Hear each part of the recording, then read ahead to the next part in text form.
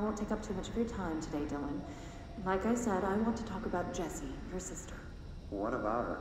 I just want to get your perspective. What do you think of her? What kind of person is she? That sort of thing. I adored my sister. When I was little, I mean. Back in ordinary. And you don't anymore? When I first got here, sure. I'd always hoped she'd come too. Find me, to take me home. We went everywhere together. Why should this be any different? Casper said she could come too, to the Bureau. If she wanted to. But she never did. Why do you think that is? Because she didn't care about me. She always wanted to be out on her own, seeing the world. She always said so. I guess she got what she wanted. Great. So she wanted to see the world. Did she ever mention any place in particular? Why? We like to ask questions around here, you know that. Any particular cities, towns, landmarks, anything like that? I don't remember. What about family friends? Were you close with anyone living outside of Ordinary? I'm done with this. Tell Casper I want pizza for lunch today. Dylan, wait. We're not. End of session.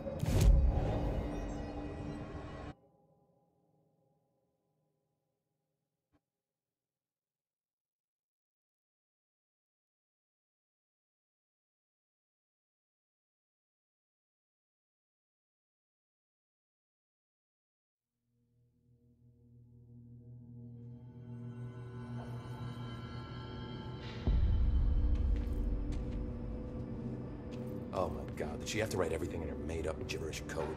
Fucking Marshall with her CIA spy shit, god. I don't think I ever told you this, but I was actually on the path to being a ranger once.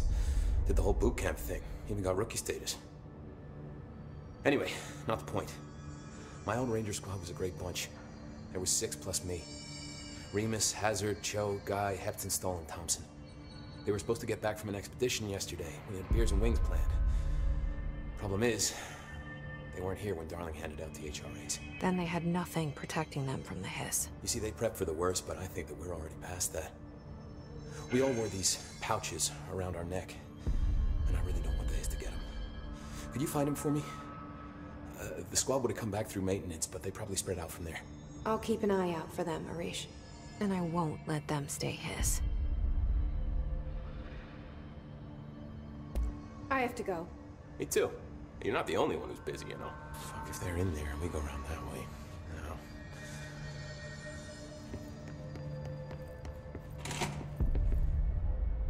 The resonance emitted from the HRAs is purely antithetical to every variant of the Hiss signal I can arrange. But how did Darling hmm. create it?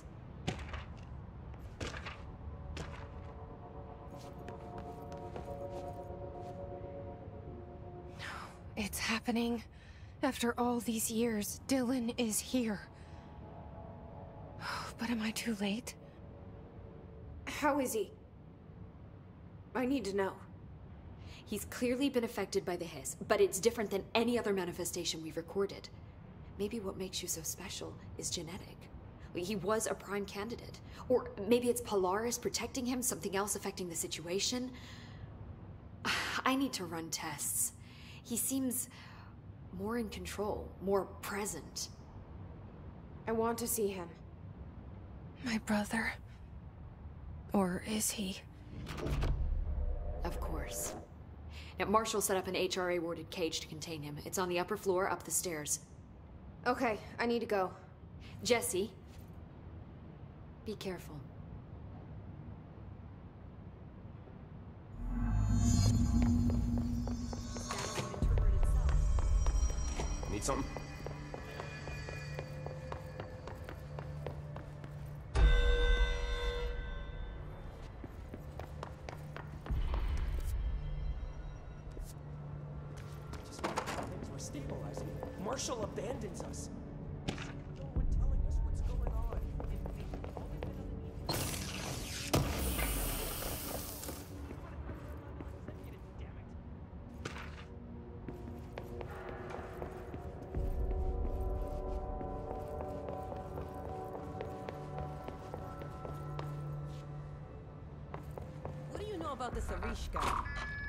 Rangers saying he saved them in maintenance. All right, but still, a security guard leading rangers? I don't know if I like taking orders from a boss.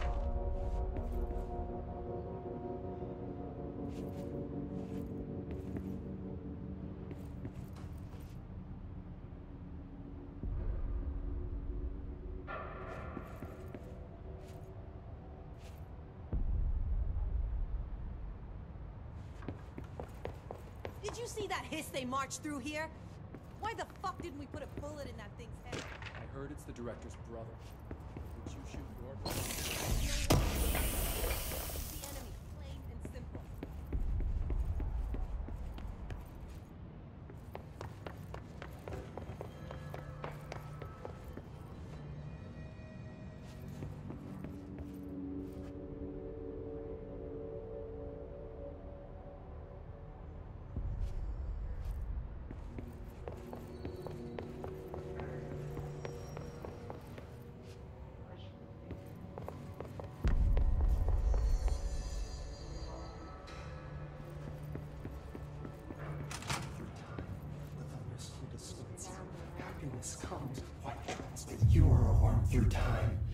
Thunder's distorts you.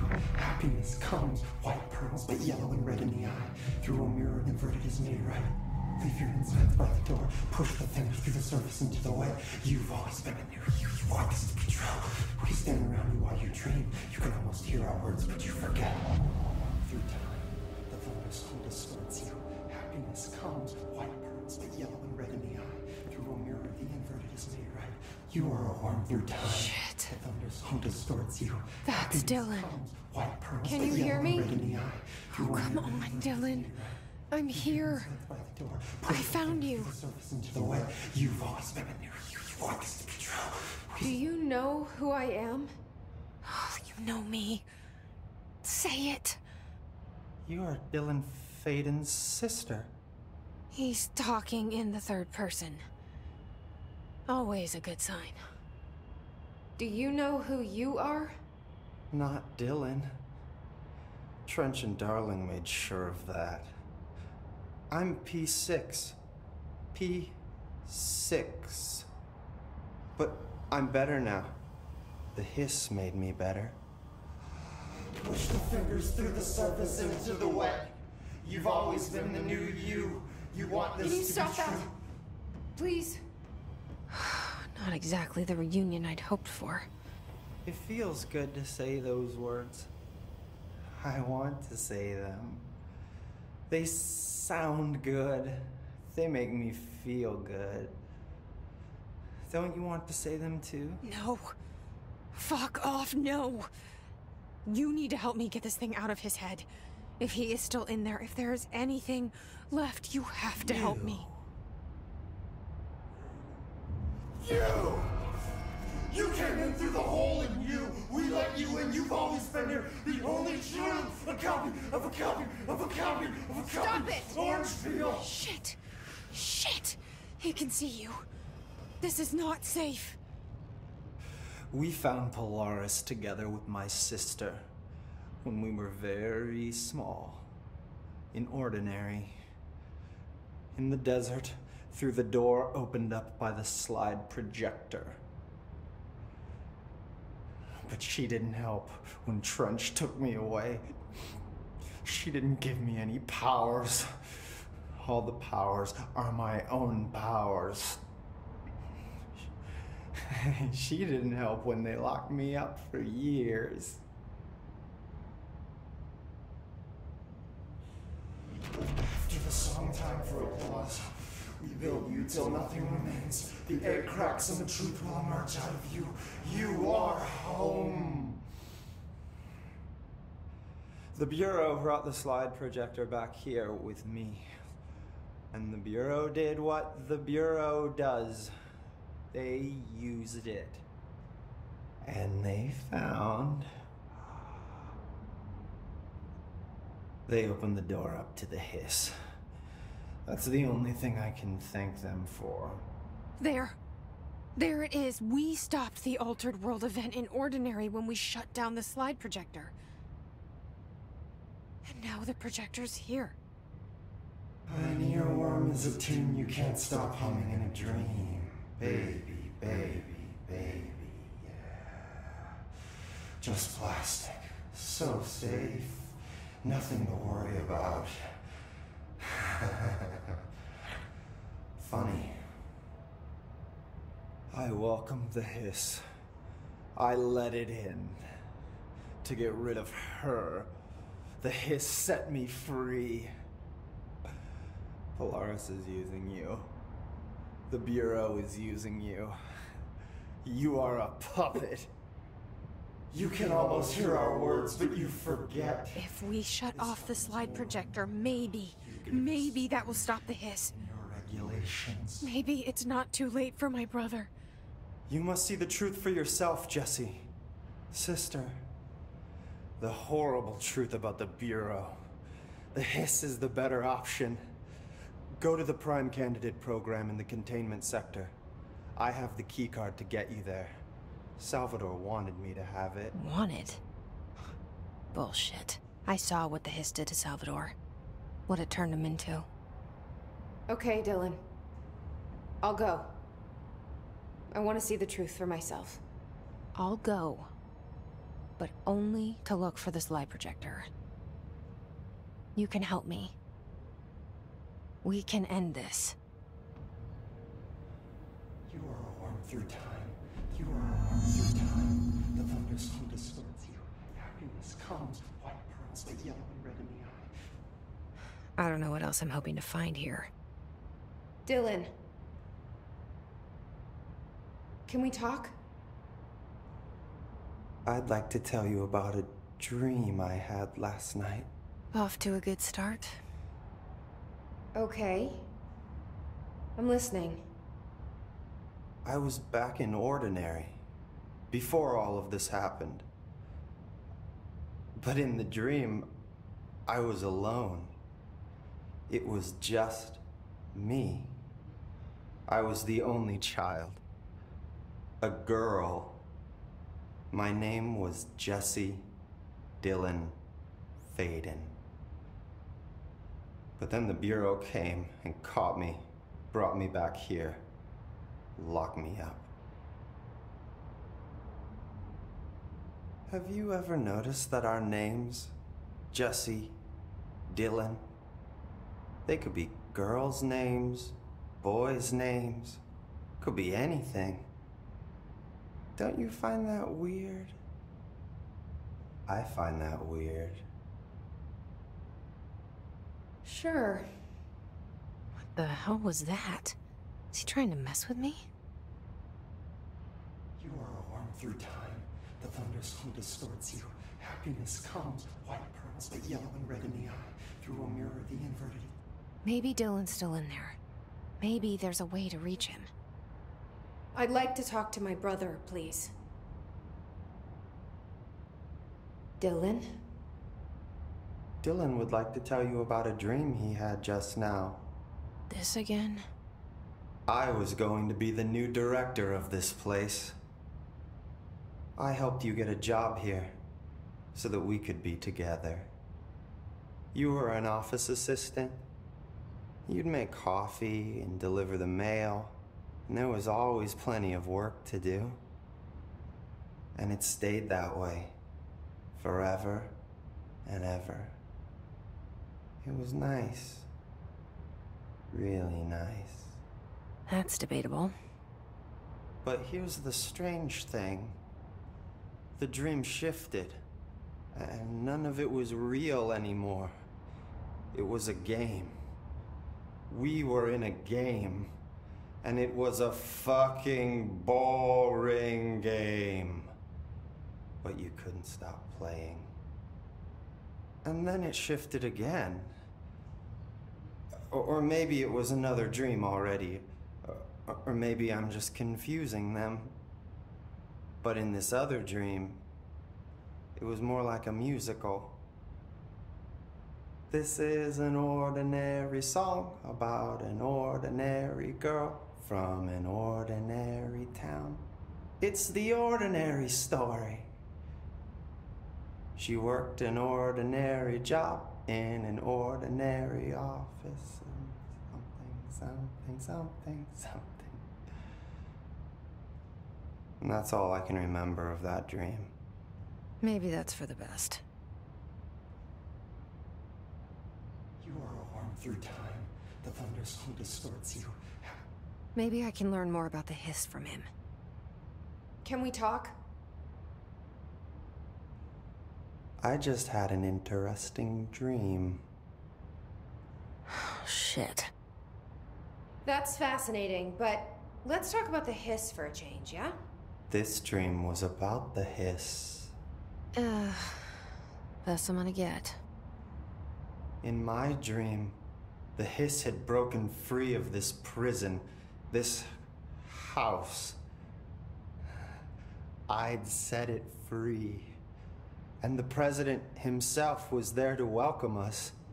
He was the first one to take the hiss in. Spread the word. At first, many people thought it was horrifying. That he was horrifying. But also, many people who heard his words wanted to welcome the hiss in. And slowly, more and more of them came around until the whole world was brought together by the hiss. It was wonderful. Okay. Thanks for sharing that. For the record, that will never happen. Not as long as I'm alive. The thunderstorm distorts you. Happiness comes, white Maybe I'm just here to punish myself. Any new dreams you'd like to share, Dylan? I'm glad you asked, sister. This dream, like all dreams now, felt very real. Like reality. And reality now feels like a dream. Maybe it's all a dream. Maybe it's all real. dream where my brother endlessly tells me about his dreams. I was in a dark place. And there was a dark man there. His name was Mr. Door. And he told me that there are many worlds, side by side, on top of each other, some inside of others. In one world, there was a writer who wrote a story about a cop. In another world, the cop was real. Door said he himself was in all of them at the same time, endlessly shifting between them. I asked him how I could reach these worlds. I wanted to bring the hiss there. But he didn't want to help me. He didn't like the idea. What did he know? Not wild about the idea myself. Through time, the thunderstorm distorts you. Happiness comes, white pearls, but yellow and red in the eye. Through a mirror, the inverted is made right. Here we go again. Once more with feeling. Let me guess. You want to tell me about your dream? Yes. Yes. In fact, I'm having a dream right now. Oh. That's new. In this dream, I'm standing in the corner watching Jesse and Dylan talk about this very dream. This very dream! He said just now! And repeated it again now! I'm standing there and watching, and that's all I can do. It's as if I'm trapped there. And that's all I have to say about that dream. Okay, okay, Dylan. That's good. Is he still in there? Or is this the hiss playing mind games? I don't know. The inverted is made right. Leave your inside by the door. Push the fingers through the surface into the way. You've always been here. You, you want this to be true. We stand around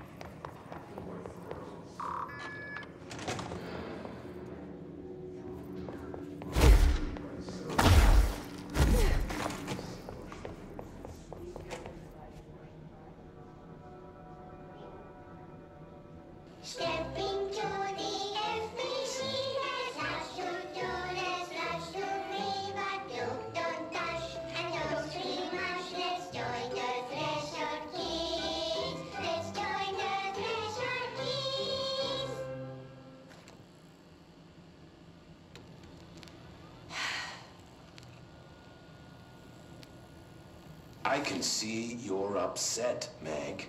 Why don't you tell Uncle Mr. Bones what's wrong? I did bad on my clairvoyance test. You can't ace every test, Meg. You see, everyone has different brains.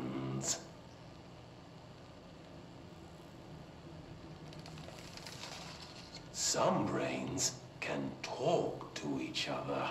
We call this ESP. ESP. Some brains can lift objects, like a baseball. Talk about a fly ball, eh, Meg? no So who cares if you fail your clairvoyance test? Maybe your brain can throw baseballs, or talk to dead people, or make friends blind. Once we know what your brains can do, we'll know what job to give you. And if your brains are just right, you'll get to sit in the big chair.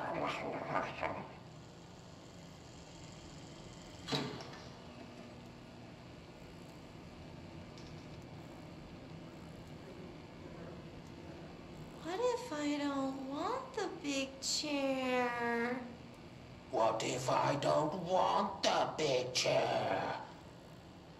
Everyone wants the big chair, Meg! That's why we're all here. Use those brains to listen for once, or the only chair you'll get in is the one with straps.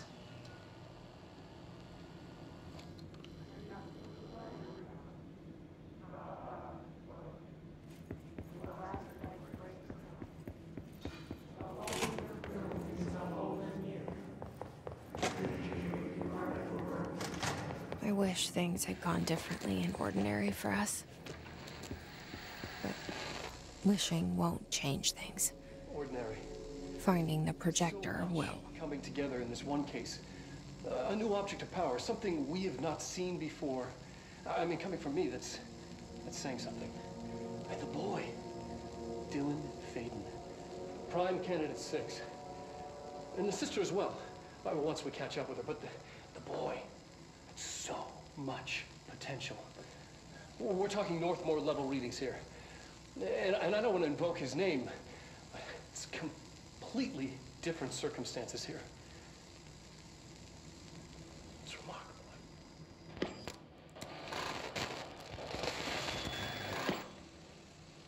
There was an incident. Yes.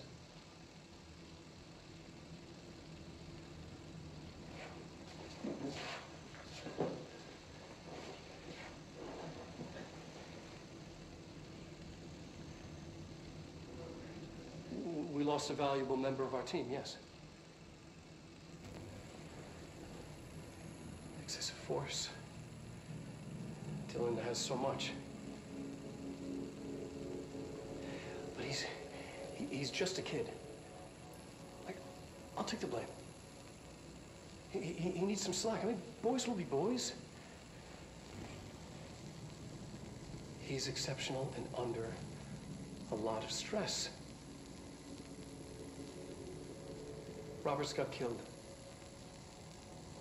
It's an unfortunate accident, that's all. Marshall needs to realize this. We will make this work.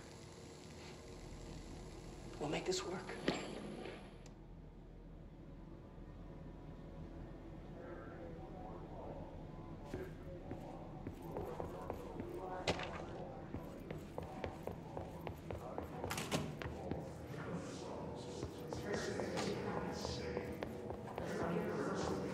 Is this what Dylan wanted me to see? It doesn't matter. We need to find that projector.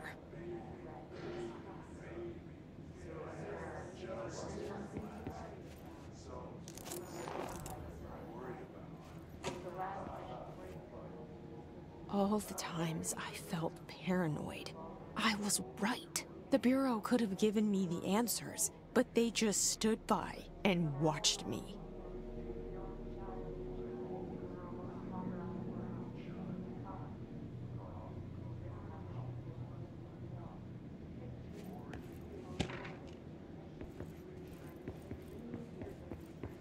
We used to play there all the time. Me and Dylan, and other kids as well. We loved it. This time, I remember, was different. We found a way in, deeper into it, like it had shifted. We went inside, and that's where we found the slide projector. A dump is a place for lost things. Things that have been thrown away. Did you ever feel that way when you were growing up, Jesse? What? No. Yes, but that has nothing to do with. Was there a slide projector at your home when you were small? No. Those were before your time, I suppose. But your family did look at photos together, maybe. In one form or the other? Maybe. Hmm. When was this? Can you remember? At parties? Barbecues? How did it make you feel? Did your parents ever show pictures that embarrassed you? Was alcohol ever involved at these parties? Did your parents drink? Did that make you uncomfortable? No. That's just stupid. Come on. That has nothing to do with this. Nothing. The slide projector, let me ask you this. As a child, did you ever fantasize about worlds inside pictures? Inside a painting? You know, stepping into a painting, into a hidden world, escaping and finding adventure there, away from your parents. I don't. I. I don't think so. I don't remember. Maybe. I don't know.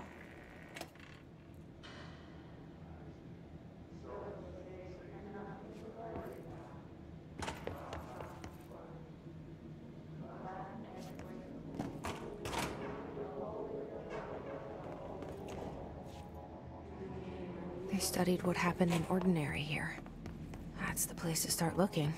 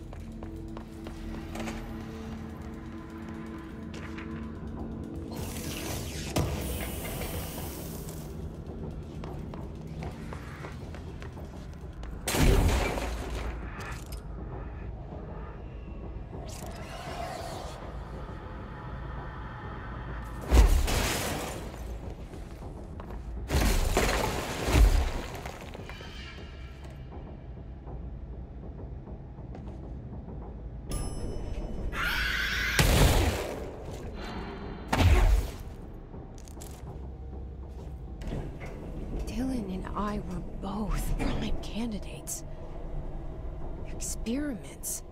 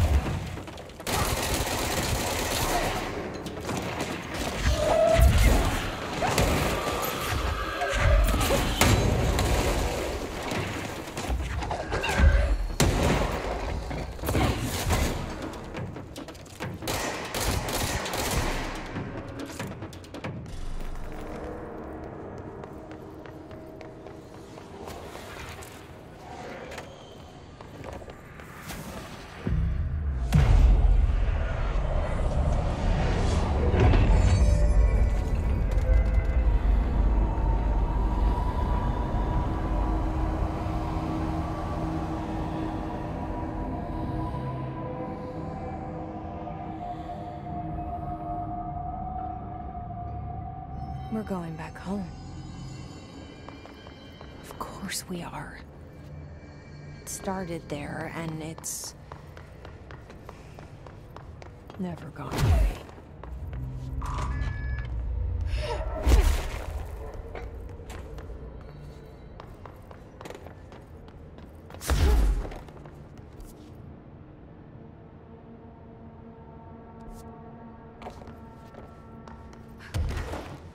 There's